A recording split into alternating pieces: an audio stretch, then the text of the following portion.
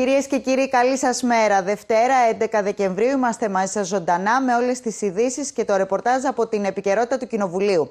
Να ξεκινήσουμε με το νομοσχέδιο του Υπουργείου Κλιματικής Κρίσης και Πολιτικής Προστασίας για την αναδιάρθρωση της πολιτικής προστασίας και τον Εθνικό Μηχανισμό Εναέριας Διάσωσης και Αεροδιακομιδών, το οποίο ψηφίστηκε κατά πλειοψηφία από την Ολομέλεια της Βουλής.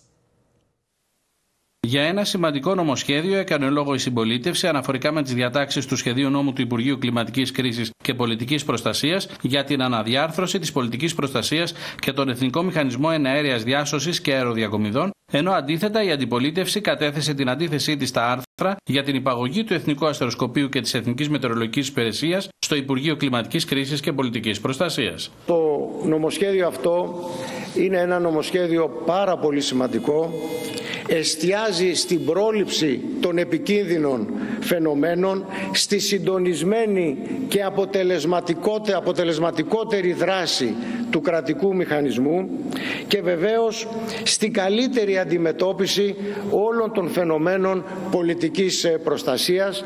Σε αυτή την προσπάθεια συντονισμού έρχονται να προσθεθούν δύο σημαντικές υπηρεσίες, το Αστεροσκοπείο Αθηνών και η Εθνική Μετεωρολογική Υπηρεσία, οι οποίες μεταφέρονται στην εποπτεία του Υπουργείου Κλιματικής Κρίσης και Πολιτικής Προστασίας και παρά το γεγονός ότι ακούστηκαν προβληματισμοί και ενστάσεις από τους αντίστοιχους φορείς, ο Υπουργός διαβεβαίωσε όπως η μεταφορά των υπηρεσιών αυτών στο Υπουργείο γίνεται για να υπάρξει καλύτερος συντονισμός της επιστημονικής κοινότητας απέναντι στους επαπειλούμενους κινδύνους. Να είναι ένα πρόχειρο και μη αποτελεσματικό νομοσχέδιο να μην μιλάμε για τη νέα φιλοσοφία που απαιτείται στην κατάσταση των πυρκαγιών, τις συνέργειες που απαιτείται μεταξύ των διαφόρων σωμάτων μεταξύ τους, την εξειδίκευση των πυροσβεστών, το κομμάτι του εθελοντισμού που έπρεπε να μπει μέσα. Σας λένε χαρακτηριστικά ότι δεν έχουμε ε, ένα όφελος ούτε για τη στολή που φοράμε, ούτε καν για τα διόδια όταν πρέπει να πάμε σε κάποια μέρη. Και κυρίως να πάμε στο κομμάτι της πρόληψης έναντι καταστολής. Μας απογοητεύσατε. Και γι' αυτό δεν μπορούμε να το ψηφίσουμε. Όχι μόνο γιατί πήγατε και ουσιαστικά προτάξατε εμβαλωματικά κάποιες διατάξεις για να βάλετε την έρευνα υπό, την, ε, υπό τον έλεγχό σας, αλλά και γενικότερα ούτε φιλοσοφία αλλάζουμε σαν χώρα, ούτε αντιμετωπίζουμε τις κακοδαιμονίες του ελληνικού δημοσίου. Θεμελιώνεται την άμυνα της χώρας σε λάθος βάση.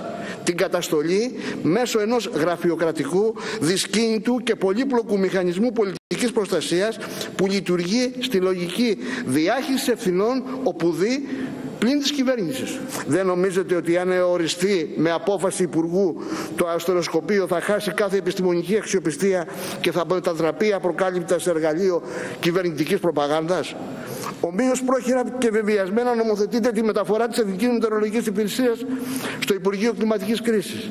Και εδώ δημιουργείται περισσότερα προβλήματα. Όλο εκείνο το πολυδιαφημισμένο σας μοντέλο της πολιτικής προστασίας μέσα σε μόλις τρία χρόνια έγινε στάχτη στην Πάρνηθα, την Εύβοια, τη Ρόδο, τη Δαδιά και λάσπη και πλημμύρα στη Θεσσαλία. Την αποτυχία σας λοιπόν ομολογείτε με το νομοσχέδιο αυτό. Σίγουρα όμως με το νομοσχέδιό σας εξασφαλίζεται ακόμα πιο ασφικτικό κυβερνητικό έλεγχος στις επιτροπές διαφόρων επιπέδων προκειμένου και να μειώνετε το πολιτικό σας κόστος και να διαχέετε τις αναμφισβήτητες ευθύνες σας. Ολόκληρο το υποψήφιση νομοσχέδιο επικεντρώνεται στη θεραπεία και όχι στην πρόληψη.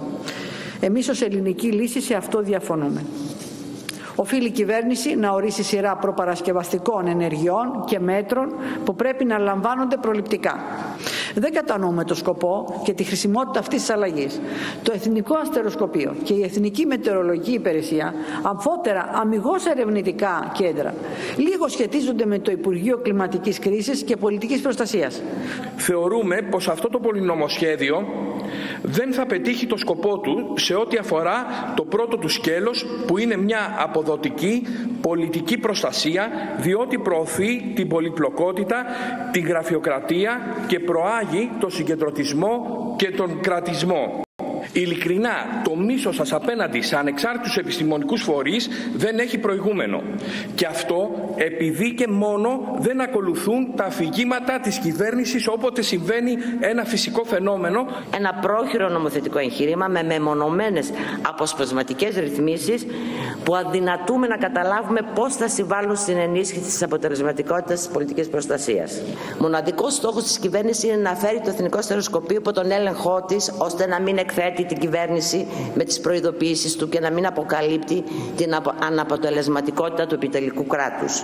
Στην ίδια λογική ακριβώς βεβαίως έχουμε και τη μεταφορά της Εθνικής Μετεωρολογικής Υπηρεσίας, γνωστή ΕΜΗ, στο Υπουργείο σας, άλλη μια αμφιλεγόμενη επιλογή της κυβέρνησης. Είναι ένα νομοσχέδιο που επενδύει στη διαχείριση της αναποτελεσματικότητας του κράτους που δημιουργείται για να αντιμετωπίσει τις συνέπειες φαινομένων καιρικών μεγάλης έντασης. Αυτό το νομοσχέδιο θα το καταψηφίσουμε γιατί επενδύει στον έλεγχο της πληροφορίας της ενημέρωσης δηλαδή για στεγάνωση των εισηγήσεων της Νομοδοτικής Επιτροπής Εκτίμησης Κινδύνου. Η κυβέρνηση θα έπρεπε να συζητήσει περισσότερο κατά τη μελέτη και τη σύνταξη του νομοσχεδίου αυτού, αλλά και να συμπεριλάβει και να διαβουλευτεί με περισσότερους εμπλεκόμενους φορείς και να έχουμε το επιθυμητό αποτέλεσμα. Και δεύτερον, πως υπάρχει κίνδυνος να χαλάσουμε κάποιες εύρυθμες λειτουργίες ζωτικές και απαραίτητες για τον ελλαδικό χώρο, όπως είναι η λειτουργία της ΕΜΗ και του Εθνικού Αστυροσκοπείου Αθηνών. Στη συνεδρίαση το λόγο έλαβε και ο Υπουργός Κλιματικής Κρίσης και Πολιτικής Προστασίας Βασίλης Κικίλιας, ο οποίος υπεραμείνθηκε των διατάξεων του νομοσχεδίου, χαρακτηρίζοντάς τις απαραίτητες για την αποτελεσματική αντιμετώπιση της κλιματικής κρίσης. Αξιολογώ αυτό το νομοσχέδιο πάρα πολύ σοβαρό, πολύ κρίσιμο, κέριο και μη κομματικό. Πολιτικό, ναι, μη κομματικό. Πολιτικό γιατί όλοι εδώ πέρα έχουμε ορκιστεί να εκπροσωπούμε τους πολίτες, να προσπαθούμε να υποστηρίξουμε τα συμφέροντά τους και το ανώτερο όλο είναι η προστασία της ανθρώπινης ζωής. Όσο ο ΑΣΠ ε, επικρέμεται ως ε, οργανισμός κατά την πολιτική προστασία και η Εθνική Μετεωρολογική Υπηρεσία και το αστεροσκοπείο. Άκουσα θα υποβαθμίσει την Εθνική Μετεωρολογική Υπηρεσία. 100 εκατομμύρια ευρώ σε προγράμματα έχει δώσει πολιτική προστασία στην ΕΜΗ τα τελευταία χρόνια. Όχι να την υποβαθμίσουμε, να την αναβαθμίσουμε εννοείται. Τώρα τη συμπαράστασή του στον αστυνομικό που τραυματίστηκε σοβαρά από φωτοβολίδα στη Νίκαια κατά τη διάρκεια αγώνα εξέφρασαν ο Υπουργός Πολιτικής Προστασίας Βασίλης Κικίλιας, πολιτικοί αρχηγοί και βουλευτές όλων των κομμάτων. Η αντιπολίτευση άσκησε κριτική στην κυβέρνηση για τα φαινόμενα οπαδικής βίας. Τις ευχές τους εξέφρασαν επίσης οι βουλευτές κατά τη συζήτηση της κύρωσης συμφωνίας του Υπουργείου Παιδείας για την αμοιβαία ακαδημαϊκή αναγνώριση πανεπιστημιακών τίτλων σπουδών, ανωτάτων και ανωτέρων εκπαιδευτικών ιδρυμάτων μεταξύ Ελλάδας και Κύπρου. Κοινώνησα χθες το βράδυ με την διοίκηση του Γενικού Κρατικού Νικαίας για να έχω μια εικόνα από το πώς βρίσκεται, γίνει σε κρίσιμη κατάσταση ο Έλληνας αστυνομικός, ο οποίος τραυματίστηκε κατά τη διάρκεια του καθήκοντος και θέλω να σας πω ότι εμπεριέχει για αυτούς τους ανθρώπους τη στήριξή του, για κουράγιο, δύναμη στην οικογένειά του. Ελπίζω, ξαναμπήκε στο χειρουργείο από ό,τι μαθαίνω. Ελπίζω η περιπέτειά του να έχει αίσιο τέλος. Είναι βαριά πράγματι ο άνθρωπος και θέλω να πω ότι υπάρχουν αυτοί οι, οι συνάνθρωποι μας που τα επαγγέλματά τους είναι διαφορετικά από τα δικά μας. Γιατί όπως εμείς όλοι το πρωί πηγαίνουν στη δουλειά τους, αλλά η φύση και η υφή του επαγγέλματος αυτού, όπως είναι η Έλληνες αστυνομικοί, οι πυροσβέστες και οι ενόπλες δυνάμεις, ενδεχομένως να μην γυρίσουν το βράδυ. Απαιτεί λοιπόν ιδιαίτερη ψυχοσύνθεση, προσωπικότητα και χαρακτήρα ε, για αυτά τα παιδιά, για αυτού του νέου ανθρώπους, κατά κύριο λόγο, για να ασκούν αυτό το, το λειτουργήμα. Ενώ λοιπόν τη φωνή μου με, όλο, με όλων των υπολείπων.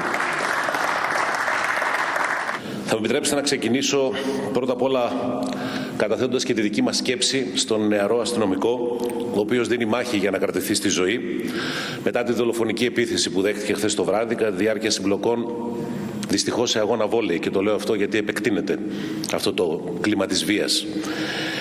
Από την πρώτη στιγμή κλιμάκιο του ΣΥΡΙΖΑ υπάρχει, βρέθηκε εκεί στο Γενικό Κρατικό της Νίκαιας, που νοσηλεύεται ο αστυνομικός για να ενημερωθεί και την κατάσταση της υγείας του. Πρέπει να ομολογήσω ότι μας έχει συγκλονίσει και ευχόμαστε να βγει νικητής ένας νέος άνθρωπος, αλλά πρέπει να μας προβληματίσει και πολιτικά αυτό το συμβάν. Γιατί αυτός ο κύκλος του αίματος και της βίας έχει πάρει ανεξέλεγκτες διαστάσεις, περνάς σε ένα άθλημα όπως το βόλι, παρά τις δεσμεύσεις του κυρίου Μητσοτάκη για περισσότερη ασφάλεια. Αυτό πρέπει να το πούμε. Θέλω να εκφράσω τον αποτροπιασμό μου για τα όσα θλιβερά επεισόδια έγιναν χθες στο κλειστό γυμναστήριο Μελίνα Μερκούρη στον Πειραιά. Πρέπει να αναλυφθούν από την κυβέρνηση συγκεκριμένες πρωτοβουλίες για να σταματήσει το η βία στα γήπεδα. Δεν έχετε άλλα περιθώρια.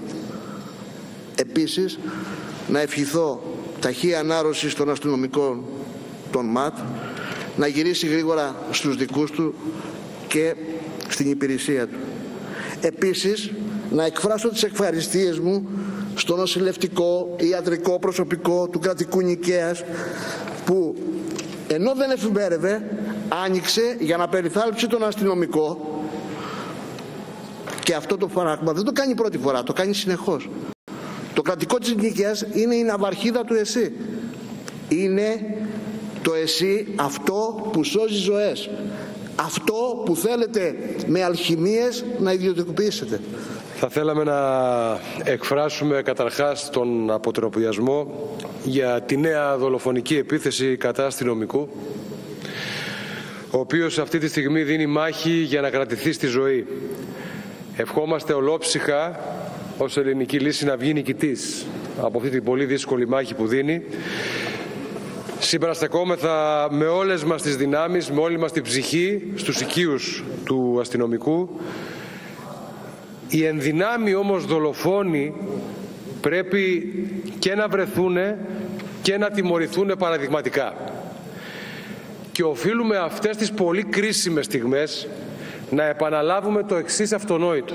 Γιατί βαρεθήκαμε να λέμε τα ίδια πράγματα τι δουλειά έχει η ελληνική αστυνομία να φυλάει μία ανώνυμη εταιρεία; Να ευχηθώ ταχύ ανάρρωση και πως όλοι στεκόμαστε στο πλευρό του αστυνομικού που τραυματίστηκε σοβαρά κατά τη διάρκεια του αγώνα Ολυμπιακού Παναθηναϊκού στο Ρέντι, ώστε να βγει νικητής από αυτή τη μάχη που δίνει για τη ζωή του. Οι κυβερνητικές ευθύνες είναι πολλές για την ανεξέλεγκτη οπαδική βία και θα πρέπει να συζητηθούν. Τώρα όμως ευχόμαστε να γίνει καλά ο αστυνομικός και να γυρίσει γρήγορα στην οικογένειά του, όπως επίσης και να βρεθούν και να τιμωρηθούν οι ένοχοι. Θέλω να ξεκινήσω εκφράζοντας τον αποτροπιασμό της Νέας Αριστεράς για την χθεσινή δολοφονική επίθεση που οδήγησε στον σοβαρό τραυματισμό ενός αστυνομικού. Δυστυχώς, κυρίες και κύριοι συνάδελφοι, δεν είναι το πρώτο αντίστοιχο επεισόδιο που βλέπουμε να συμβαίνει στη χώρα μας. Θυμίζω το καλοκαίρι, μόλις πριν από λίγους μήνες, συγκλονίστηκε ολόκληρη η χώρα από την δολοφονία ενός νέου ανθρώπου όταν είχαμε μια συμμορία νεοναζί οπαδών που διέσχισαν τη μισή χώρα για να φτάσουν στη δολοφονία στη Νέα Φιλαδέλφια. Θα έπρεπε τότε αυτό το γεγονός να έχει σημάνει συναγερμό στις αρχές. Το ίδιο θα έπρεπε να έχει συμβεί και με τα αλλεπάλληλα περιστατικά, σκληρά περιστατικά βία στα σχολεία μας. Υπάρχει πάρα πολύ σοβαρό πρόβλημα πλέον. Υπάρχει ένα πρόβλημα το οποίο δεν μπορεί να λυθεί ούτε με αόριστες γενικόλογες εξαγγελίες, ούτε με κούφια μέτρα στον αέρα, τα οποία δεν υλοποιούνται ποτέ. Να ευχηθούμε από την πλευρά μας ολόψυχα να πάνε όλα καλά με τον άτυχο αστυνομικό, γιατί η αξία της ανθρώπινης ζωής είναι ανυπολόγιστη και η προστασία της πρέπει να είναι το πρώτο μέλημά μας. Οι προσευχές μας συστρατεύονται με όλου του κόσμου στη σωτηρία του αδελφού μας αστυνομικού που χαροπαλεύει και στους οικείους του, συγγενείς και συναδέλφους του της μεγάλης αστυνομικής οικογένειας. Γιατί αυτός ο νέος άνθρωπος χαραπαλεύει εκτελώντας όχι απλά το καθήκον του, αλλά πέφτοντας άδικα θύμα ενός αντάρτικου επιχειρηματικών συμφερόντων δολιοφθοράς μεταξύ της κυβέρνησης και της αδυναμίας της ή δεν ξέρω τι άλλο, να πατάξει το κατασκευασμένο φαινόμενο βίας εντός των αθλητικών χώρων. Τις ευχές τους για ταχεία ανάρρωση στον αστυνομικό Τολμάτ που τραυματίστηκε κατά τη διάρκεια επεισοδίων στο Ρέντι στον αγώνα Βόλεϊ Ολυμπιακός Παναθηναϊκός εξέφρασαν οι βουλευτές κατά τη συζήτηση της κύρωσης της συμφωνίας του Υπουργείου Παιδείας για την αμοιβαία ακαδημιακή αναγνώριση πανεπιστημιακών τίτλων μεταξύ Ελλάδας και Κύπρου. Όλοι υπογράμμισαν την ανάγκη δραστικής αντιμετώπισης του φαινόμενου της οπαδικής βίας με αφορμή τον τραυματισμό του αστυνομικού. Να εκφράσουμε τις ευχές μας ε, στον άνθρωπο που δίνει μάχη για τη ζωή του και τι να πω, νομίζω ότι είναι ουτοπικό να πούμε να μην ξαναδούμε τέτοια φαινόμενα αν δεν υπάρχουν πραγματικές δράσεις και πολιτικές σχετικά. Ελπίζουμε ότι όλα θα πάνε καλά για το συγκεκριμένο αστυνομικό και οπωσδήποτε τάχιστα να βρεθούν οι δράστες αυτής της δολοφονικής επίθεσης και να λογοδοτήσουν άμεσα στη δικαιοσύνη, γνωρίζοντας η οικογένεια και αυτός ο άνθρωπος ότι όλοι είμαστε δίπλα του και είμαστε ευγνώμονες για όσα προσφέρουν στην κοινωνία. Για όλους μας, οι ευχές, οι ολόθερμες, οι ολόψυχες ευχές είναι ο άνθρωπος αυτός ο οποίος χειρουργήθηκε χθες το βράδυ να ξεπεράσει αυτό το τεράστιο ζήτημα το οποίο αντιμετωπίζει μια φωτοβολίδα η οποία καρφώθηκε σε μια αρτηρία στο πόδι του. Δεν υπάρχει άλλη συζήτηση. Θέλουμε να γίνει καλά, να το ξεπεράσει και να ηρεμήσει και αυτός και η οικογένειά του και οι συνάδελφοί του. Σε ένα θύμα, τον αστυνομικό, ο οποίος προφανώς δεν ήταν αυτό το κύριο καθήκον το οποίο θα έπρεπε να εκτελεί. Του ευχόμαστε λοιπόν πλήρη ανάρρωση και επιστροφή στο σπίτι του και στην οικογένειά του. Τι ευχές μας για ταχεία ανάρρωση του αστυνομικού που τραυματίστηκε χθες. Ευχές αλλά και τη συμπαράστασή του στην οικογένεια του αστυνομικού εξέφρασαν επίσης ο Υπουργός Παιδείας Κυριάκος Πυρακάκης και ο Αντιπρόεδρος της Βουλής Γιάννη Πλακιωτάκη. Να ευχηθώ να κερδίσει τη μάχη που δίνει στην εντατική ο αστυνομικός που τραυματίστηκε χθες σε οπαδικά επεισόδια.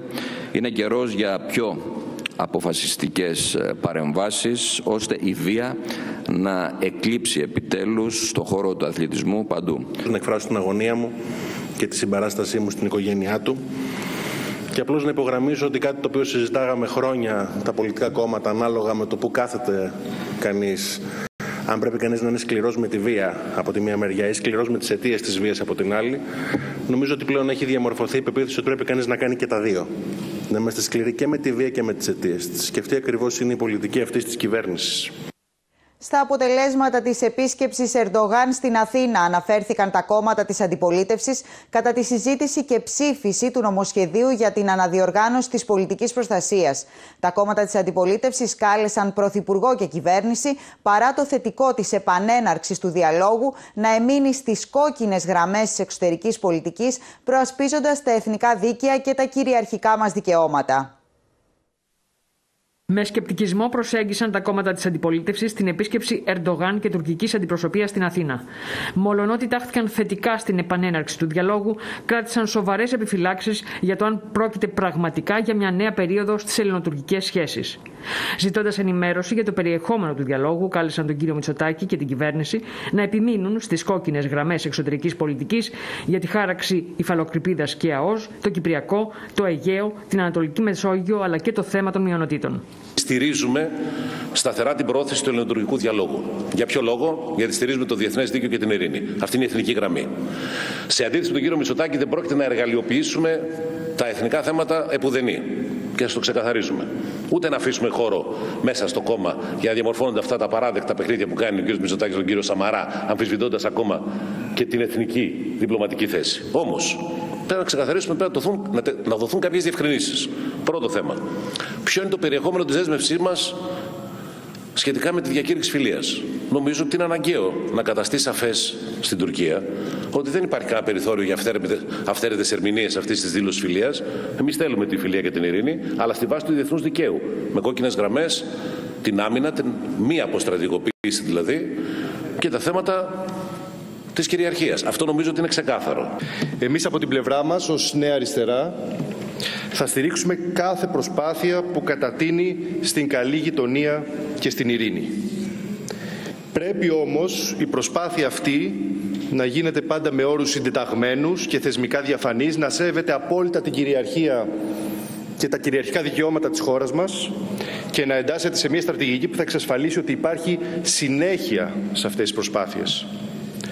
Γιατί δεν είναι άλλωστε η πρώτη φορά που οι ελληνοτουρκικές σχέσεις βρίσκονται σε φάση προσέγγισης. Το ίδιο έχουμε δει να συμβαίνει και στο παρελθόν. Στη συνέχεια όμως είδαμε επίσης τα πράγματα να αλλάζουν. Είναι και αξιολογείται ως θετική η χθεσινή ημέρα, διότι επιβεβαίωσε τον ανοιχτό διάβλο επικοινωνίας και τις δυνατότητες ενός ανοιχτού και παραγωγικού διαλόγου με την Τουρκία. Ασφαλώς χρειάζεται ενημέρωση, ασφαλώς χρειάζεται μελέτη από όλους μας, όχι μόνο του κειμένου της διακήρυξης, αλλά και κάθε μίας από τις διμερείς συμφωνίες που υπογράφηκαν χθες σε επίπεδο Υπουργείων και ασφαλώς χρειάζεται νυφαλιότητα, ρεαλισμός από εδώ και στο εξής και πλήρη και βαθιά ε, επίγνωση, πλήρης και βαθιά επίγνωση απαιτείται των αντιλήψεων της άλλης πλευράς. Και πάντως επιμονή στις εθνικές πάγιες γραμμές. Το τι υπόθηκε εκεί το ξέρουν μόνο οι δυο τους. Άρα ας κάνουμε λίγο υπομονή όλοι. Αλλά ο κύριος Μετζοτάκης ανέχθηκε, ανέχθηκε να ομιλεί ο Ερντογάν για τουρκική μειονότητα στη Θράκη χωρίς να το επισημάνει όταν πήρε το λόγο μετά ο Έλληνας Πρωθυπουργός ότι η ελληνική, τεράστια ελληνική μειονότητα εκδιώχθηκε, ξεριζώθηκε από την περιοχή της Κωνσταντινούπολης, από την Ήμβρο, από την Τένεδο και από όλη τη Μικρά Ασία. Δεν είπε τίποτα. Τίποτα. Η κριτική στάση μας εντός του ευρύτερου πλαισίου στήριξης της διμερούς προσέγγισης με την Τουρκία με άλλα λόγια, δεν είμαστε ενάντια σε μια στρατηγική κατευνασμού και διπλωματικής διερεύνησης λύσης των διαφορών μας με την Τουρκία στη βάση του διεθνούς δικαίου. Όμως δεν είμαστε βεβαίως υποστηρικτές μιας διπλωματίας βαθιών υποκλήσεων προς τον κύριο Ερντογάν, όπως συνέβη δυστυχώς χθες στο Προεδρικό Μέγαρο. Στηρίζουμε το πλαίσιο της ελληνοτουρκικής προσέγγισης, αλλά το πράττουμε κριτικά και προσεκτικά. Δηλαδή χωρίς να βλέπουμε μόνο το δέντρο των φιλοφρονήσεων και να χάνουμε το δάσος των μεγάλων άλυτων προβλημάτων υψηλής πολιτικής, κυρίως στην Κύπρο και στο Αιγαίο, που βεβαίως αποσιωπήθηκαν πάλι ξανά χθες. Δεν μας διαφεύγει με άλλα λόγια ότι η πρόοδος που έχει συντελεστεί ως τώρα στο σκληρό πυρήνα των ελληνοτουρκικών σχέσεων είναι ουσιαστικά μηδενική. Ψηφίστηκε από την Επιτροπή Μορφωτικών Υποθέσεων το σχέδιο νόμου του Υπουργείου Παιδείας που αφορά στην κύρωση συμφωνίας μεταξύ των Υπουργείων Παιδείας Ελλάδας και Κύπρου για την ακαδημαϊκή αναγνώριση των τίτλων σπουδών των πανεπιστημίων. Κριτική στην κυβέρνηση άσκησαν τα περισσότερα κόμματα της αντιπολίτευσης σχετικά με την κύρωση της διακρατικής συμφωνίας του Υπουργείου Παιδείας για την αμοιβαία ακαδημαϊκή αναγνώριση πανεπιστημιακών τίτλων σπουδών ανώτατων και ανωτέρων εκπαιδευτικών ιδρυμάτων μεταξύ Ελλάδας και Κύπρου, κάνοντας λόγο για μια συμφωνία που ανοίγει το δρόμο για αναγνώριση των ξένων πανεπιστημίων, είτε είναι δημόσια είτε ιδιωτικά, αλλά και την ίδρυση μη κρατικών πανεπιστημίων. Με τη συγκεκριμένη διακρατική συμφωνία ανοίγει ενδεχομένως ο ασκός του αιώλου για ανάλογες διακρατικές συμφωνίες με τρίτες χώρες και, και μάλιστα για κράτη που δεν είναι μέλη της Ευρωπαϊκής Ένωσης. Ας πούμε η Αλβανία. Καλούμαστε κύριε Πρόεδρε να ψηφίσουμε ένα σύμφωνο το οποίο αφορά την αυτόματη αναγνώριση τίτλων σπουδών των Κυπριακών Ακαδημαϊκών Ιδρυμάτων. Όμως πρέπει να αναλογιστούμε. Μπορούμε να βλέπουμε όλα αυτά τα ζητήματα ad hoc με διακρατικές συμφωνίες.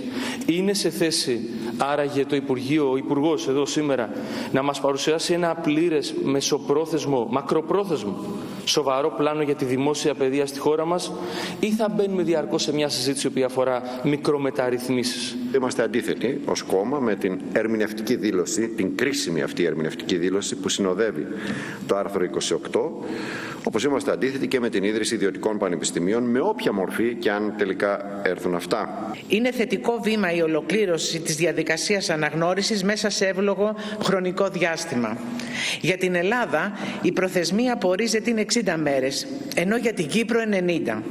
Καλό θα είναι να οριστεί η ίδια μικρότερη προθεσμία των 60 ημερών για την αναγνώριση και από τον αντίστοιχο φορέα της Κύπρου. Θα υπερψηφίσουμε ουσιαστικά το σχέδιο νόμου καθ' ολοκληρία και από αρχής και κατά τα άρθρα και η σεπήρωση της αρχικής τοποθετήσεως ε, στην ε, Επιτροπή Παιδείας ε, απλώς ε, θα το κάνουμε διότι δεν διακατεχόμεθα ούτε από ιδεολειπτικές αγκυλώσεις.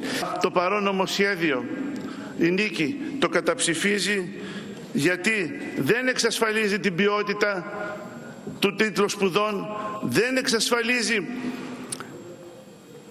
αυτό που πραγματικά εμείς τα θέλαμε. Η Πλεύση Ελευθερίας από χρόνια υποστηρίζει τη διεθνοποίηση των ελληνικών πανεπιστημίων και γνωρίζει ότι ορισμένα από τα διεθνοποιημένα πανεπιστήμια στον κόσμο, από τα πιο διεθνοποιημένα πανεπιστήμια στον κόσμο, όπως παραδείγματος χάρη αυτά της Βρετανίας, της Γαλλίας, της Γερμανίας και άλλα, είναι κρατικά ιδρύματα. Η σύναψη τέτοιου είδους συμφωνιών ε, επισφραγίζει θα λέγαμε μια συνολική στρατηγική που ποτέ δεν χαράχτηκε πίσω από κλειστές πόρτες, ποτέ δεν έγινε κρυφίω. Το αναφέρω αυτό γιατί ακούστηκε έτσι ιδιαίτερος ως κριτική. Ακούσαμε για μια κερκόπορτα που ανοίγει. Όχι, ήταν ανοιχτά τα χαρτιά πάντα.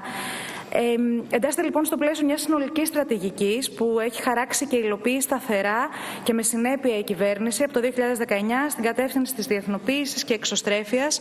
Κλείνοντας τη συζήτηση επί της κυρώσεως, ο Υπουργός Παιδείας Κυριάκος Πιερακάκη αναφέρθηκε στην επίσκεψη του Τούρκου Προέδρου στην Αθήνα και στη συμφωνία με τη γείτονα χώρα στον χώρο των πανεπιστημίων. Ο Κυριάκος Μητσοτάκης και η κυβέρνηση έχει αποδείξει σε κάθε δυσκολία και σε κάθε πτυχή του κυβερνητικού έργου ότι όταν κρίθηκαν θέματα εθνικού συμφέροντος, είτε ήταν στον Εύρο είτε ήταν στο Αιγαίο, το εθνικό συμφέρον διαφυλάχθηκε, προφυλάχθηκε και ενισχύθηκε.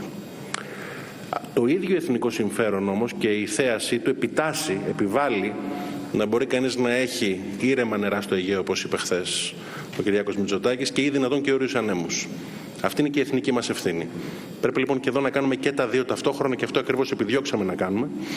Και σε ό,τι αφορά το χώρο της παιδείας, υπεγράφει μια συμφωνία, κύριε Μάτζο, για την επαγγελματική εκπαίδευση, η οποία αφορά την ανταλλαγή καλών πρακτικών στο χώρο της επαγγελματικής εκπαίδευσης, δηλαδή πρακτικά επαγγελματικά λύκεια επίπεδο 4 και τα ΙΕΚ, τα οποία όπως έχουμε πει θα μετονομαστούν επίπεδο 5, να δούμε πώς μπορούμε να ανταλλάξουμε καλές πρακτικές ο ένας από τον άλλον και αυτό όλο βρίσκεται στο πλαίσιο της θετικής ατζέντας και της ανταλλαγής καλών πρακτικών.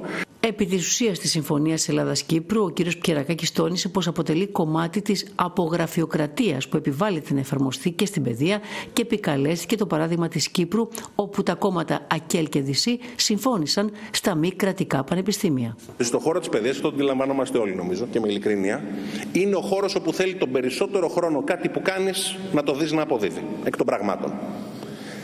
Άρα πρέπει να μπορέσουμε να σχεδιάσουμε μεταρρυθμίσεις ή δυνατόν από κοινού σε πάρα πολλά πράγματα. Και υπάρχουν θέματα στα οποία ξέρουμε ότι διαφωνούμε, υπάρχουν όμως θέματα στα οποία ξέρουμε ότι συμφωνούμε, έστω και κατηδίαν. Στα δεύτερα θα πρέπει να μπορέσουμε να τα αποτυπώσουμε με ταχύτητα και να τρέξουμε μπροστά για να μην δημιουργηθεί περαιτέρω χάσμα επιδόσεων. Είναι εθνικό θέμα το να μπορέσουμε να βελτιώσουμε την παιδεία. Καλούμαστε να πατήσουμε γκάζι και όχι φρένο. Θα τρέξουμε λοιπόν, μακάρι να τρέξουμε μαζί. Εγώ κρατώ ως καλύτερη καλή πρακτική από την Κύπρο αυτή την εικόνα που είδα όταν ήρθαν σε αυτό το κτίριο οι εκπρόσωποι των Κυπριακών κομμάτων να μην χρειάζεται να σκηνοθετούν ή να πραγματοποιούν περιττές διαφωνίες μεταξύ τους όταν πρόκειται για το συμφέρον της πατρίδας τους που είναι το συνολικό πλαίσιο το οποίο έχτισαν στην τριτοβάθμια εκπαίδευση με αντικείμενο την επεξεργασία του σχεδίου νόμου του Υπουργείου Ψηφιακής Διακυβέρνησης σχετικά με την ψηφιακή ολοκλήρωση του ελληνικού κτηματολογίου, συνεδρίασε η Επιτροπή Δημόσιας Διοίκησης, Δημόσιας Τάξης και Δικαιοσύνης. Το νομοσχέδιο εισάγεται σήμερα στην Ολομέλεια. Σε δεύτερη ανάγνωση προχώρησε στην αρμόδια επιτροπή της Βουλής η εξέταση του νομοσχεδίου για το ελληνικό κτηματολόγιο. Ο εισηγητής της πλειοψηφίας Τάσος Μπαρτζόκας αναφέρθηκε στα πλεονεκτήματα της ψηφιοποίησης του κτηματολογίου. Τώρα είμαστε σε θέση να αξιοποιήσουμε στο έπακρο τα τεχνολογικά εργαλεία, να χρησιμοποιήσουμε σύγχρονες ψηφιακές εφαρμογές, να ελαχιστοποιήσουμε το χαρτί, να ελαχιστοποιήσουμε τις ουρές και τη φυσική παρουσία στα κτηματολογικά γραφεία. Ο εισηγητής της αξιωματικής αντιπολίτευσης Γιώργος Καραμέρος υποστήριξε ότι χρειάζεται η ενίσχυση του προσωπικού του κτηματολογίου. Χρειάζεται μαζί με τις τολμηρές λύσεις που ευαγγελίζεστε επί της αξιοποίησης όλων των ψηφιακών εργαλείων και η ενίσχυση του επιστημονικού ανθρώπινου δυναμικού. Αυτού που έχουμε στη διάθεσή μας, αλλά και εκείνου που απαραίτητος πρέπει να έρθει στο φορέα για να πετύχουμε αυτό τον εθνικό στόχο. Μια πραγματική μεταρρύθμιση προκειμένου να μπει ένα τέλος σε μια εκκρεμότητα δεκαετιών. Στη συνέχεια τοποθετήθηκαν οι εκπρόσωποι των κομμάτων της αντιπολίτευσης.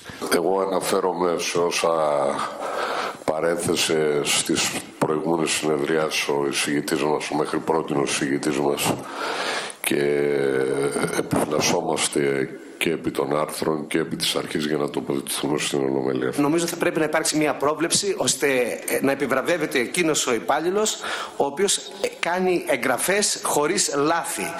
Κάτι το οποίο θα ταλαιπωρεί τους πολίτες. Στο συγκεκριμένο νομοσχέδιο ελείπει κάποια ρύθμιση για τη χρησικτησία, η οποία πράγματι έθηκε σε διαβούλευση. Είναι ένα σύνθετο ζήτημα, ένα, πολλα... ένα ζήτημα που έχει πάρα πολλές περιπτώσεις.